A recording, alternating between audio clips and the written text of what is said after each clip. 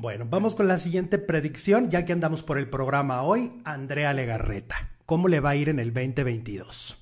Ok, vamos a ver. Este, esta niña es una angelada, que Bárbara tiene una estrella impresionante. De todas las que conozco, ella tiene valores familiares muy arraigados, una infraestructura familiar que la apoya mucho. Eh, siento que ahorita el problema que ella va a tener es un tema de salud, que puede tener que ver con glándulas, con hormonas.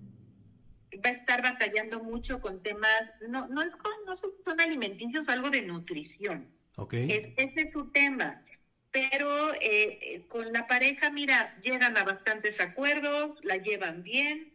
Eh, una de las chiquitas la veo sumamente rebelde, o sea, así no le va a importar ir en contra de todo lo establecido. Este, una niña muy divertida, pero va a empezar a tener como temas. Y yo también siento que este, así como Galilea fue un año difícil, para Andrea viene un año complicado.